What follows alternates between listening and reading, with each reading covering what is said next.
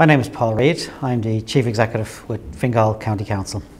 I'm in the role about 18, 19 months now, and I guess I'm unusual to some extent in the role that I've never been in local government before I came to this role.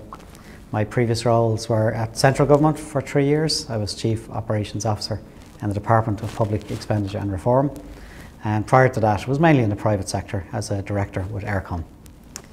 The Chief Executive role in Fingal is probably one of the nicest roles in roles in the country. It's a great variety and a great challenge in Fingal.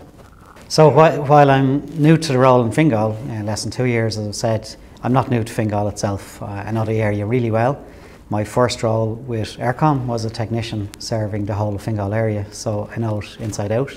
For five years I actually lived in Lusk, in Orland Park in Lusk. When we got married first, I lived in Lusk and played football with Lusk United.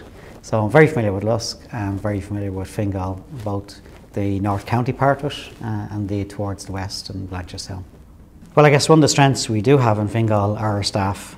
We've just about 1,200 staff in Fingal, and the great strength is vast majority of them live in Fingal. I'm very proud to live and work in Fingal. So we have very proactive staff who really value what they do for the work in the communities. So you will see our staff, whether it's on the roads, whether it's in the parks, whether it's working in the communities, whether in the planning area, a very strong connection and pride in the work that they do for Fingal. So we're very proud of the work our staff do uh, and the connection that they make with the citizens.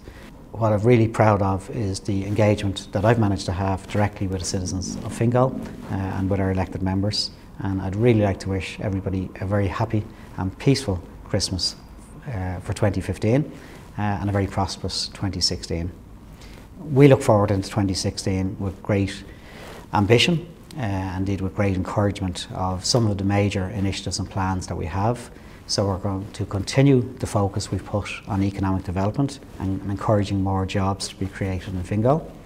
We're going to strengthen Fingal as a tourism proposition for people within Ireland and for people outside of Ireland to visit us. Uh, and thirdly, we're putting a very strong focus on housing and community across the county.